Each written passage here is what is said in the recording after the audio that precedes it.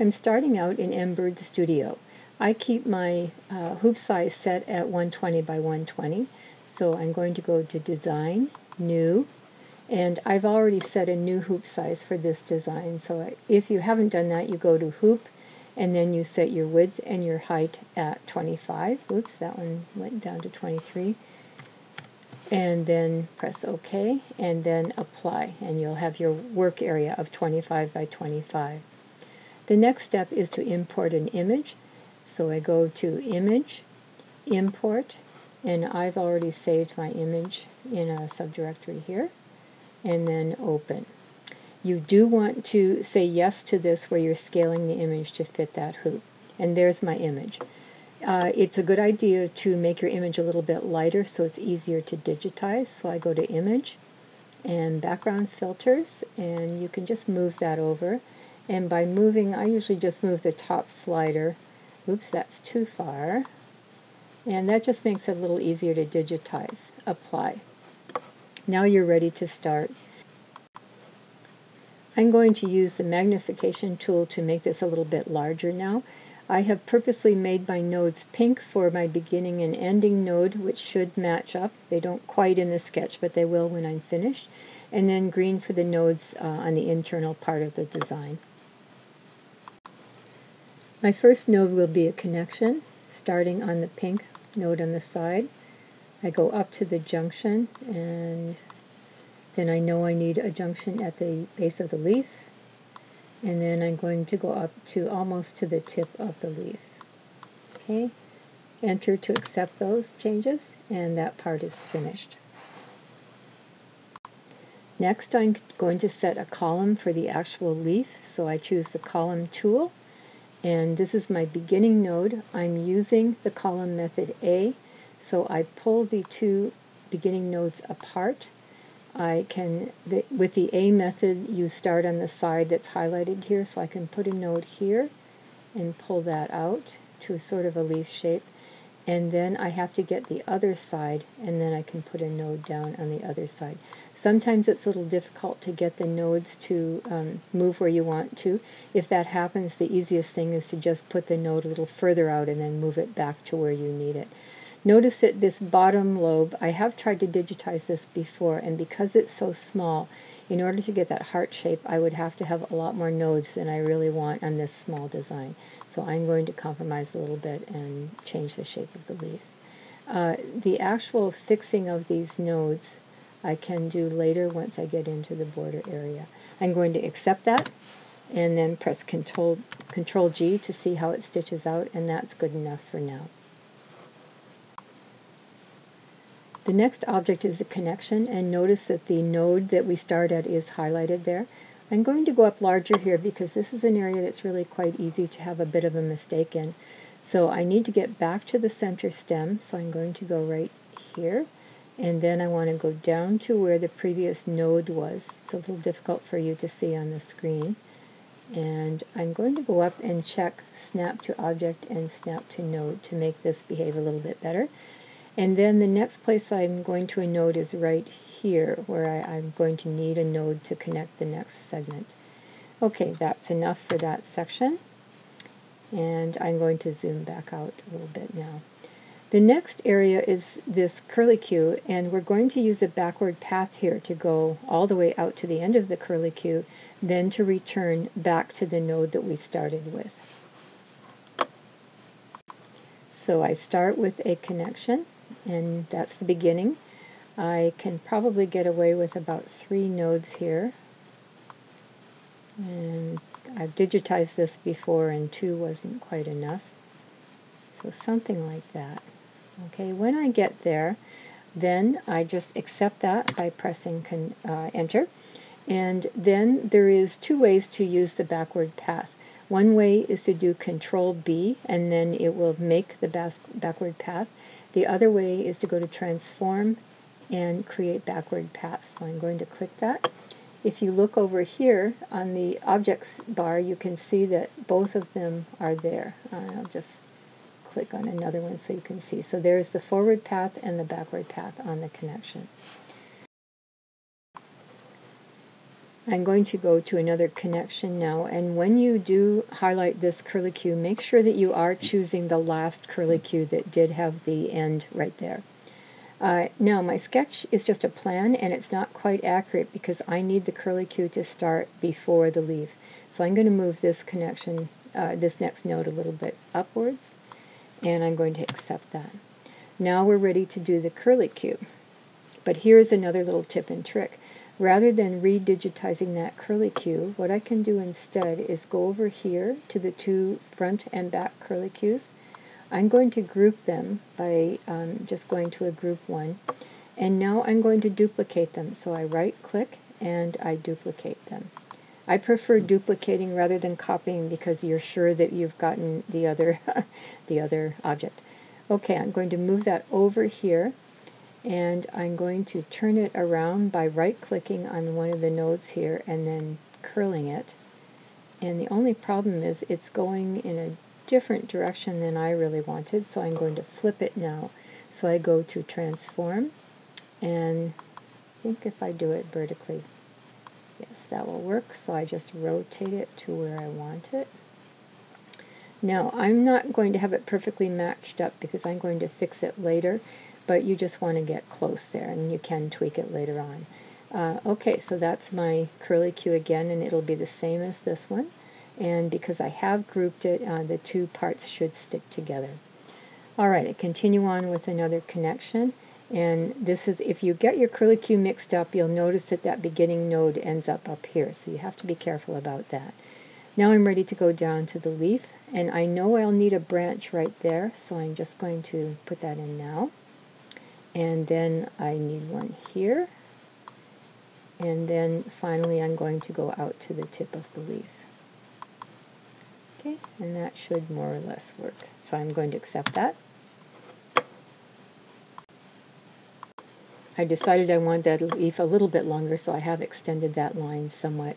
Now I'm ready to go to a column object so I click on the column tool I'm using the A method again, and I've just recently updated my version of Embird that uh, just came the other night, and notice that now you can see which column you're on, which is a great addition. Okay, I'm going to use the A method, so I'm pulling my two nodes apart, and the highlighted side is right there, so I'm going to put one there and pull out that into some sort of leaf shape. Then I need to go over to this node here, and now I'm on the other side, and I can put in the second side of the leaf. Okay, and as I said, I'm not going to try and get that perfect heart shape. I know from past experience that uh, getting these nodes to be just right so that it will zigzag stitch correctly can take a little bit of fiddling, but I'm going to accept that. And then I'm going to go Control G to just see it, and it's not bad. I could tweak it a bit, but it'll it'll do. The next section is another connection. And notice now that the node is just a little bit off that stem. And if I stitch from there I'll end up having a little bit of a thread that I don't want. So instead I'm going to put the next node right here and accepted it. Sometimes it won't and you have to click off to the side. Now I'm going to go back to that node I put in earlier right there. Okay and match those two up I'm going to zoom back out so I can see what I'm doing. And I will probably end up needing two nodes to really get this matched up well. Um, so I'll put one there. And I'm noticing that my first node is just below the center line. So I'm going to try that. It might not be perfect, but I'm going to accept that for now. We've finished copying our design in the design area of Embird Studio. Now we're ready to prepare for importing it into the borders area. I always save my design because you might want to work on it later. Rather than deleting the image, what I prefer to do is go to Image and the background filters again. And I like to just dial down the image, apply it, and then have another look at it. So that looks pretty good. Um, the next step then is to save this in your design area, so design save as, and I've put it with this tutorial and save. I've already saved it, so I'm not going to actually do that. And so now you have, if you need to go back to this, you have it saved somewhere. But the part that we're going to use now when we go into the Embird border area is over on the objects area, we're going to click and drag all the way down and we're going to go Control C to copy this. You could also right click um, and copy it. Either one works. And we're done there. So we're finished with the Embird Studio part. The next step will be go, going into the border area of Embird Studio. Here's a review of all the things that we've done in this step of the design of a border. We have done all of this work in the Embird design area rather than in the border area. In this next step, we're ready to actually go into the borders area to complete our border design. Okay, you can just leave this open. Now we go to design, and now we are going into the borders. So border, and we're going to a new border. And we have that familiar looking borders area now. We, we're not able to actually import an image into this, so what we're doing instead for our workaround is we're going over to the objects bar and we're going to go control V or paste and there is our design that we made in Embird, the regular design area. Now we can move this down into the border area. If we've done everything fairly accurately, these nodes will be close to the border area. And I can tell that mine are just a little smaller, so I'm just going to pull it out a bit. And I'm going to place it as close as I can to the border area. Okay, and now I'm ready to start actually doing my editing in the border. So just click escape now and our design has gone into the borders area and now we're ready to actually do some tweaking. I've done a couple borders this way where I do an image first in the design area and then move it into borders.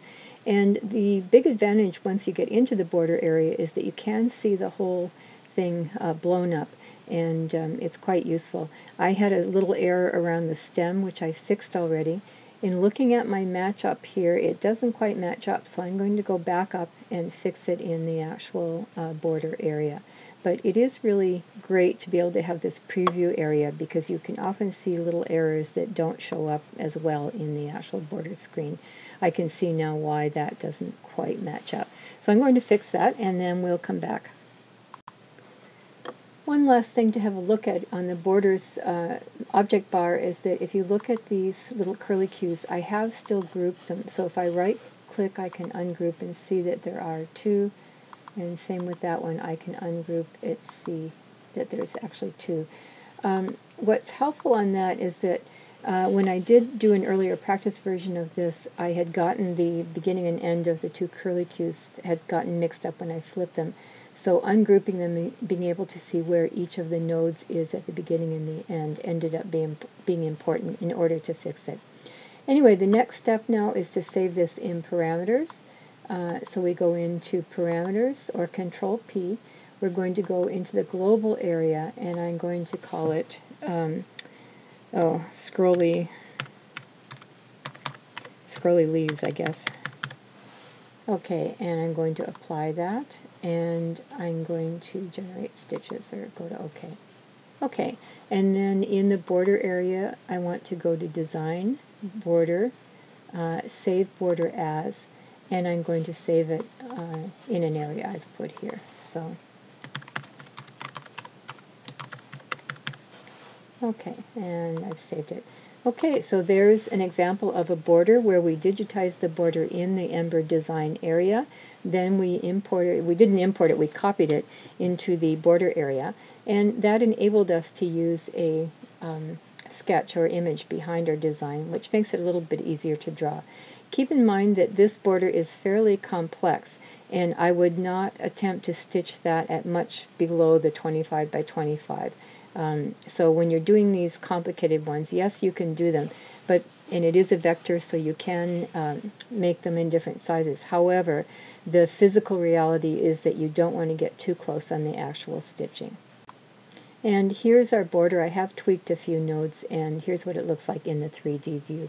Now we're ready to actually do a test stitch. I'm in my test file now, and I've gone to the icon up at the top to bring up the user editors. I'm in the borders area. I've gotten my file. And I, unfortunately I forgot to make it not be blue because it makes it harder to see. But there's my border all loaded. To use my border I highlight my first shape which is the circle. And over here I can go to parameters. And I'm going to click on the border parameter. And when I do the drop down my user border that I've loaded should be on top. And there it is. So I can load that and in terms of the size of the border I'm going to change it to 25 now let's try I'll try 20 it should stitch out okay at 20 and on the the length here I'm also going to put 20 because this is really uh, too small to stitch out in a really small border. And I'm and in looking at the parameters, the other thing that I'm going to change is the density. I don't like these anything less than 4.5 and I'm okay with everything now and apply and there's our border. Okay. Now I'm going to do the line object, the curved line, and so I've got the scrolly leaves border loaded. I go up to width and I'm going to put 20, okay, and then the length I'm going to go 20 as well and okay and everything else looks okay. Oh density I'm going to change that to 4.5 uh, and in actual fact sometimes I stitch these out in fine cotton and I go to an even higher uh, density. Apply and okay and there's our border. Here's a small review of the things that we did once we got into the borders area Here's a couple not very good stitch outs that I did, but the border itself stitched out fine. I just had a few thread problems. Here's some things that I hope you learned from the video. It's really good to have a grounding in the one-pass borders before we move on to the two-pass borders. And the next video that I really had fun making is going to be about two-pass borders, and you can really have a lot of fun with them, provided you understand how to do the one-pass.